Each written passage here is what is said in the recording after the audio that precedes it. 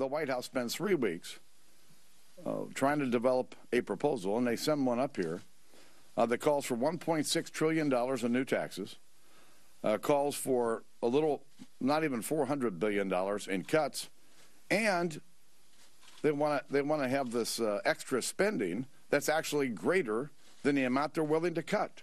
I mean, it's it's it was not a serious proposal, and uh, and so right now we're almost nowhere. Where the clock is really ticking right now is on middle class taxes. The sooner Congress gets this done, the sooner our economy will get a boost. And it would then give us in Washington more time to work together on that long range plan to bring down deficits in a balance. If there's no announcement of scheduling of the middle income tax cut, which, by the way, has tremendous support in the Republican caucus, I think we would get a 100% vote on it if it came to the floor. Uh, if, if, the, if it is not scheduled, that, then on Tuesday we will be introducing a discharge petition, which you know, with if we could get 218 signatures, uh, would bring the bill automatically to the floor.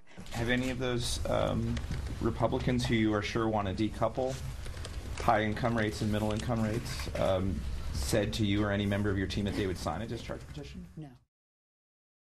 She won't get it.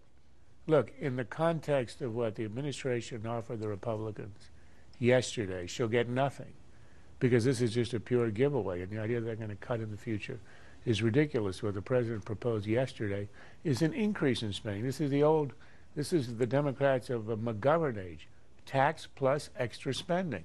The, the president ran on a balanced approach, which meant, and Jay Carney has repeated the phrase a hundred times. That means we raise taxes, which the Republicans have already conceded, and we cut spending. They've done nothing on spending except to propose an increase in spending. So it's preposterous. In the context of that offer of nothing, a ludicrous offer, which is essentially humiliating, there's, they're, they are not going to get uh, any Republicans signing on. If Obama continues with this position, he won't get anywhere. If he concedes, begins to talk about spending cuts, he might come up with an agreement. But he seems to think that he needs to offer nothing because he's in such strong a position. And I think he's truly overestimating his hand. And that's the great irony that if you go over the cliff, what we're going to get is a restoration of the Clinton rates on everybody, which, if you watch the campaign, uh, the Democrats argue that the Clinton era was economic paradise. So if you know they they balanced the budget, they created 20 million new jobs. So why not return to, to the Clinton tax rates across the board? But I, I just want to make one point about uh, what the leverage is here. I think if the the Democrats imagine that Republicans are going to cave without anything on spending, they are overreading the, their wow. And the president understands that if he goes over the cliff, he poisoned his second term. And that is really, I think, a threat to everything he wants to do. And one more thing are the middle class tax cuts permanent then? Or do they get sunsetted? I think they're pretty, they're more permanent than they ever were in the Bush years. I mean, I think this is a huge victory for Republicans. They get 98% of the Bush cuts signed by a Democratic president, which were, these cuts were not made permanent when George Bush was reelected and the Republicans controlled Congress. This is better tax policy from a Democratic president and a half Democrat controlled Congress than, than Republicans were able to get put into law in 2005. Do they give away something? Yes. Do you have to give away the upper income tax rates? As a matter of policy, it does absolutely nothing about our catastrophic deficits. It's eight cents on the dollar. It's all a political attempt by Obama. He created uh, this issue as a way to have a class war issue in the campaign. It will have no effect on deficits. It will have no effect on rescuing us. And I think Republicans ought not play that game. It well, doesn't help the economy. Let To answer your question, the middle ta class tax cuts are permanent, and the response to Charles would be that the, the Obama White House believes this will help to grow the economy. They're completely wrong. That's the problem. Every week, viewers vote for your choice online in this, our Friday Lightning Round poll. And this week, Cabinet Reshuffle won with 36% with the vote of the vote. When Susan Rice lost Susan Collins, perhaps the most mild-mannered senator uh, in the Congress, and the senator who introduced Rice, when she was nominated to be the UN ambassador. When you lose Collins, you've lost the world. And that, I think, I don't quite understand how she went around with this, uh, these meetings where she was going to present her best side to McCain, to Graham, uh, to Collins, to Ayotte, and she came out on the, I'm talking about um, Susan Rice, she came out on the wrong end of this.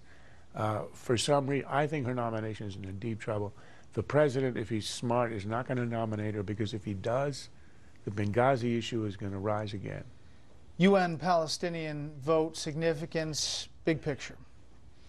There's a great irony. The vote happened on precisely and deliberately on the day on which, in 1947, the General Assembly voted to divide British Palestine into two states a Jewish state and an Arab state.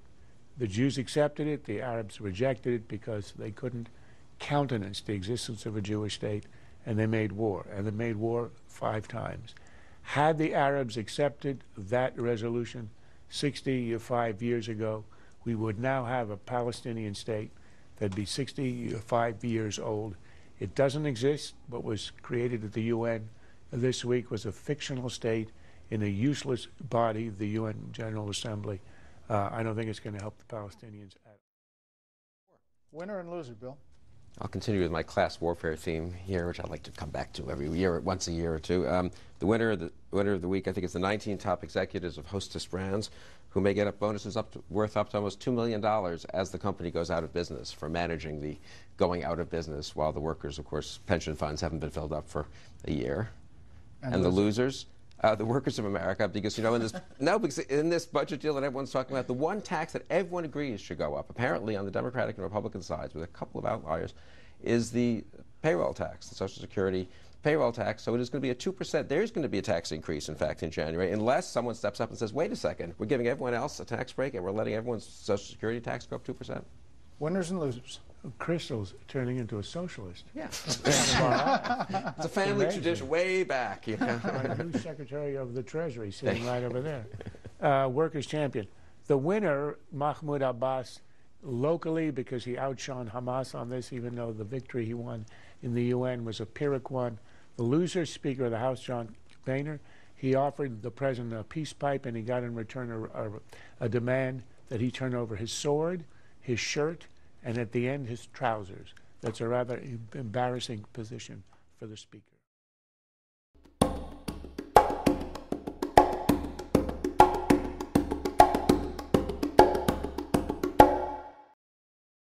This has been a Sunfish production.